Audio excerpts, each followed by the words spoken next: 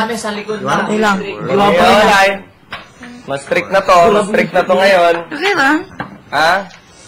Mag-iwalay. You, your hair or away like this. Grabe. You're so... Oy, pasahin yung You know what? If you're, you're if